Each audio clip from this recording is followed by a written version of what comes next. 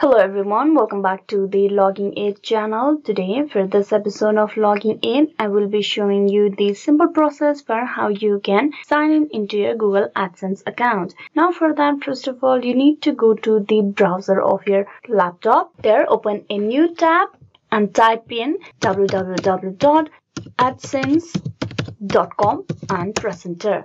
This will direct you to the official web page of Google AdSense page.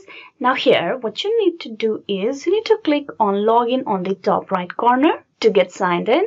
Now here to get logged in you need to provide your email address and then click on next. That is your Google account basically. Then provide the password and then click on next and just with that you have been logged in into your AdSense account. You can see here it's a very simple process. You just need to provide your Google account credential. Hope this video was useful. Please like and subscribe the Login Aid channel and also don't forget to click on bell icon for the notification and update. Thank you.